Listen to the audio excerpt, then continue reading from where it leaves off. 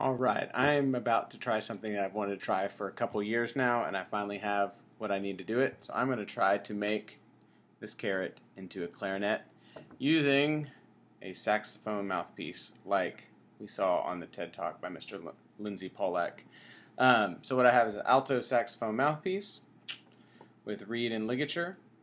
Um, I didn't have the hose joiner that he used, so just in the spirit of creating things. This is actually a marker cap, like off of a Crayola marker or something that I drilled out in the middle, and I've got electrical tape to um, make it fit.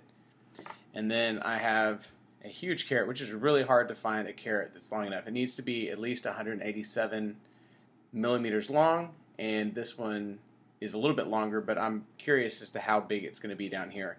Um, he did everything in millimeters. I don't have millimeter uh, drill bits, so I'm doing the best that I can with standard.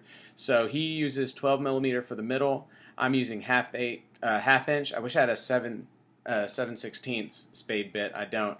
But what I realized is this is pretty much the size of this. So if I want this to fit, I have to use half inch, which is 0.5 inches instead of 0.47 inches. So that'll be a little bit bigger. And then I do, I don't have a 7 mil bit, but I do have a 9 30 seconds, which is really, really close. So, um, all right, let's see how it does. The only thing I've done is cut off this one end, just barely, just barely to make it flat. And uh, all right, let's try the rest and see what happens. I'm going to do the measurements. I'll post them below. But uh, anyway, let's see.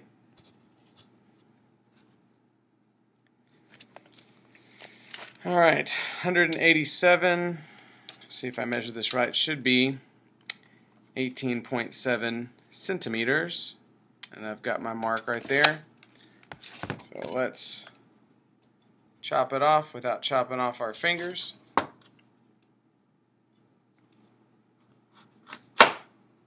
And we'll start measuring the rest. I'm going to have to, actually I forgot to look this, so I'm going to pause the video and find it and we'll come back. Alright, and we're back and I went ahead and pre-measured them. They're 39 millimeters, 54, 74. It's hard to read on writing on a carrot. 97, 123, and 140 uh, millimeters. And then on the back, there's one thumb hole that is 22 millimeters. Now, um, I did some kind of pre-measuring. If you look at the half-inch spade bit, this is going to be pretty thin. Let me put it this way.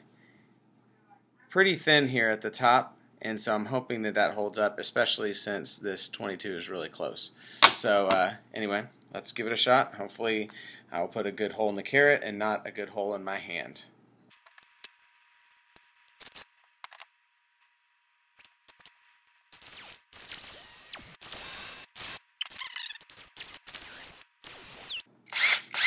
Now he uses extended drill bit, which I don't have.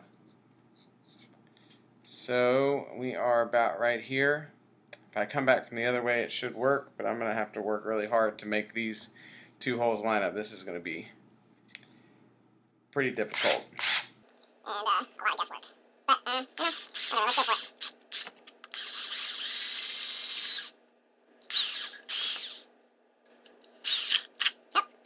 Think we're breaking through. Let me come back from this side. Come back in over here.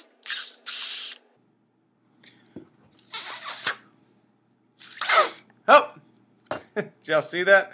We shot out. Uh, it's on the. It's on my mouse now, but there was like a, a little plug holding it in. Let's see. You can see down to the camera. It's curved a little bit, but look. Eh, there we go. All right. Well, let's try the other one. See what happens. That was kind of funny. shot shot a carrot plug right out the end, and. uh hope my computer is carrot proof because I'm shooting little bits all over it. Alright, next up, don't have a 7 mil bit, but this is, uh, what did I say, 9 30 seconds, which is the closest in inch fractions that I could get. The 7 mil, curious as to how much the 12 mil will make a difference, or it being curved. Alright, we'll do what he did and start with the thumb hole. Oop, that was easy. A little too easy, actually. Hopefully that's not too thin. thumb holes on the back. All right.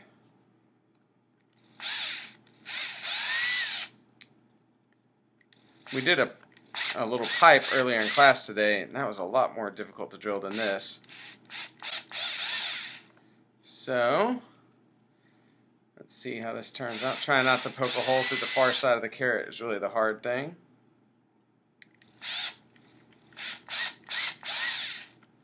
And then one more.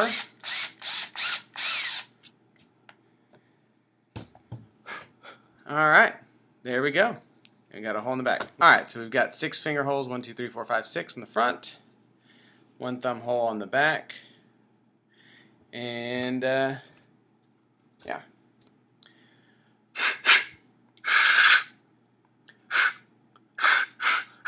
There's lots of little bits of carrot in there. I carrot parts everywhere. Okay. Now, for the moment of truth. Oh, I forgot to moisten that up beforehand, but let's just see if we can get it to fit here. Oh. Aha! All right.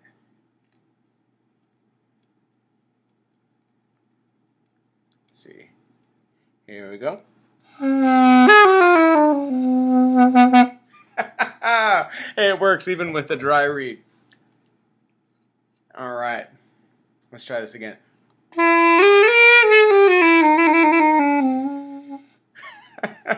All right. Uh, even with a dry reed and with not a, the exact diameters, we are still getting a pretty cool sound. Now, I didn't do the funnel on the bottom. He says he cut his a little bit shorter and then add it, but he doesn't say how much shorter. And we're already kind of wiggling some of the other numbers, so I wanted to say as precise as I could. But uh, let's see.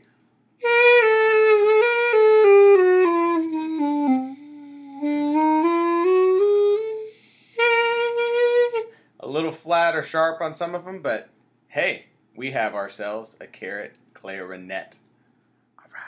This is fun. All right, I'm gonna have fun, experiment with this, and uh, this gets me excited about all the other things we can do.